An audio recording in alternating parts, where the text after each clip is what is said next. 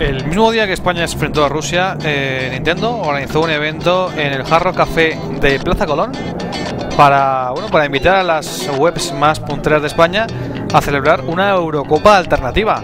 El videojuego elegido fue el Pro Evolution Soccer y allí un redactor y una persona del público elegida previamente entre cada página web pudo enfrentarse en una Eurocopa Mini eh, entre todas las webs eh, de España.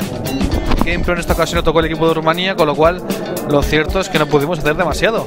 Y bueno, pues otras eh, páginas web que participaron fueron PlayStation, Vandal, Ya.com, Viciojuegos. El ambiente, por supuesto, fue de lo más relajado, eh, aunque el premio era de más de 1000 euros para el ganador. Con lo cual, bueno, pues había una, un, un tranquila, una tranquila tensión que se pudo disfrutar durante toda la tarde y que desembocó en, una, en un doble ganador. Al final, PlayStation y Vandal, con los equipos de Alemania y España, curiosamente los equipos que también se enfrentaron a la final, eh, jugaron una final que acabó en empate y tuvieron que repartirse el premio. Eh, bueno, pues fue una tarde divertida en la que pudimos ver las bondades de Pro Evolution Soccer para Wii, su, su control eh, con el Wiimote y con el mando. Eh, la verdad es que la gente sacó jugo bastante a, un mando realmente complicado para algunos jugadores, pero bueno, pues una vez que se coge el truco, lo cierto es que resulta de lo más divertido y la gente disfrutó como enanos jugando esta pequeña Eurocopa. Eh, al final no pudo ser, GamePro se quedó en eh, los cuartos con Rumanía esta vez.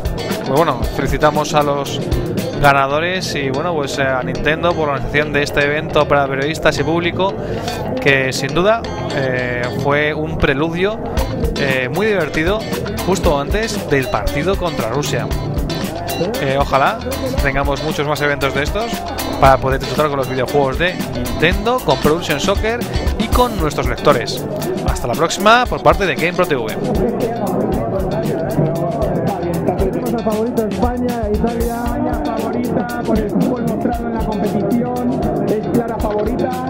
Fresca al partido.